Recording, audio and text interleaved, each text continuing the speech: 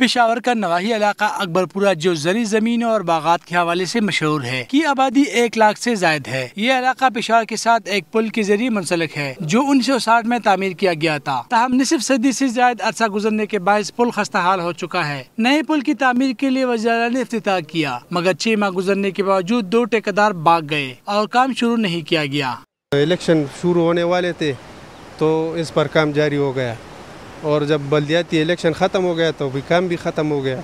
मिट्टी भी उन लोगों ने यहाँ पर डाली है जिसकी वजह से लोग लोगों को मसाले पेश आ रहे हैं। और ये सैलाब का खतरा भी है अगर सैलाब आए तो इधर से ये साइड वाले उन्होंने तोड़ा है जिसकी वजह से वो, वो हमारे गाँव को नुकसान भी हुआ। छः महीने हो चुका है कि ये पुल का अफ्ताह हो चुका है लेकिन ठेकेदारान साहिबान आए फिर भाग गए बाढ़ से आने वाला सैलाबी पानी इसी पुल के नीचे से गुजरता है। यही पानी अकबरपुरा और इसके अतराफ में मुख्तलिफ़ इलाकों की जरी जमीनों को भी जाता है।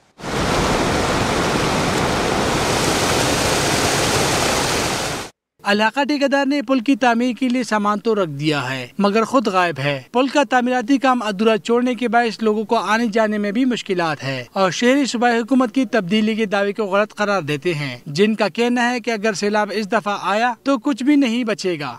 खुदा न खासा अगर सैलाब आ गया तो इस सारे इलाकों के जेर करेगा। तो जितनी जल्दी हो सके हमारी गवर्नमेंट से दरख्वास्त है कि इस पर दोबारा काम शुरू किया जा सके। सुनने में आ रहा है कि शायद इस दफ़ा फिर उससे भी बड़ा सैलाब आ जाए या इस तरह की कोई। तो अगर ये सिचुएशन बन गई तो मेरे ख्याल में बहुत मुश्किल हो जाएगा कवर करना इन लोगों को प्रोटेक्शन देना और इन लोगों को कोई सेफ़ जगह पे मूव कराना। जितनी लोग तो है उतनी नहीं है ये। रुपये में चार आने एक तो यहाँ से लेके चौक तक अगर गाड़ी क्रॉसिंग करते ना पुल पे तो वो भी हमारे लिए बहुत मुश्किल आते। कोई अगर बीमार जाता है गाड़ी में उसको भी तकलीफ़ है और हमारे लोगों को भी तकलीफ़ है। साल 2010 में आने वाले सैलाब ने इस इलाके के बेशतर जरी जमीनों को मुतासर किया था, जबकि हाल ही में पी डी एम ए की जानब से सैलाब की वार्निंग से 10 से ज़्यादा गाँव की मकीन खौफ का शिकार हो गए हैं। कैमरामैन मोहम्मद हयात के साथ मुसरतुल्ला दुनिया न्यूज़, पिशावर।